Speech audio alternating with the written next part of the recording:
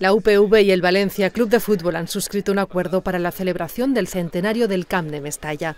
El acuerdo incluye diversas visitas del alumnado de la Escuela de Ingeniería de Edificación, con el objetivo de que conozcan el diseño arquitectónico del estadio y su concepto estructural. En la primera visita han participado 40 estudiantes de la asignatura Ejecución de Obras del grado en Arquitectura Técnica. Por otro lado, está prevista la realización de una exposición en la que se recogerán los mejores bocetos del edificio, creados por alumnado de la UPV. Queremos que la universidad participe haciendo bocetos, dibujos del Mestalla, ¿no? para que queden ahí para la posteridad.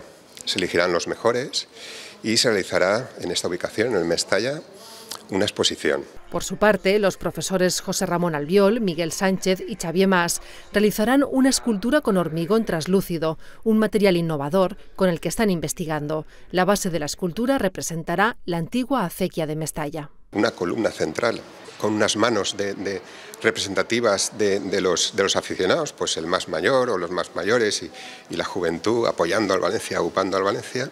Y en la parte final, la coronación, lo que queremos hacer es pues fundamentalmente el escudo del Valencia y representar el estadio. En el acto de presentación de las actividades que se ha celebrado en el palco presidencial de Mestalla han participado la vicerrectora de Arte, Ciencia, Tecnología y Sociedad, Salome Cuesta, y la presidenta del Valencia Club de Fútbol, Lei Jun.